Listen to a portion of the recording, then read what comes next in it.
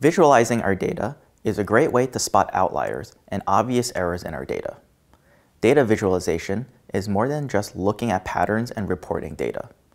They can also be an effective way to spot outliers and plan your data cleaning pipeline. Here's the tabular form of summary statistics for a clean European Environment Agency dataset. You can imagine how overwhelming the results can be on a dataset with many more columns. This is why it's important to visualize our data, because abnormal data points, such as the max population, would immediately stand out. We use bar plots to count discrete data and histograms to count continuous data.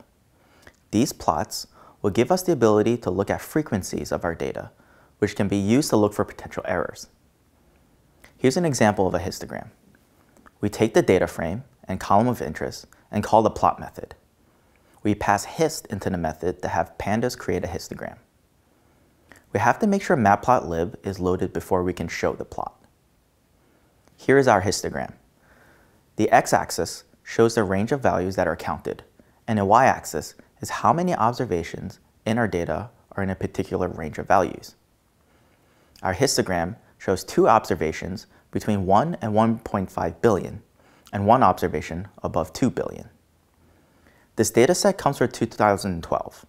At the time, it was impossible for a country to have over 2 billion people. We can slice our data to look for all data points where the population is greater than 1 billion people. We use bracket notation to slice our data, and inside, we specify the condition we are interested in. Countries with populations greater than 1 billion people. Our dataset reports Australia having 2.3 billion people. This is a data error. China and India are also outliers in our data, but those values are correct. These countries are actual outliers. Not all outliers are bad data points. Some can be an error, but others are valid values.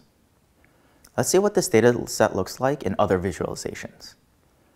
Box plots are a good way to visualize all the basic summary statistics into a single figure that we can use to quickly compare across multiple categories. You can see the DataCamp statistics courses for more information.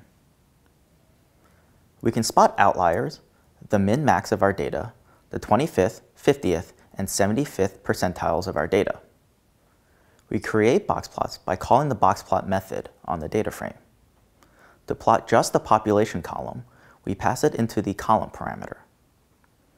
We pass the by parameter, the column name we want to compare box plots across. Here, I want a separate box plot for each continent in our data.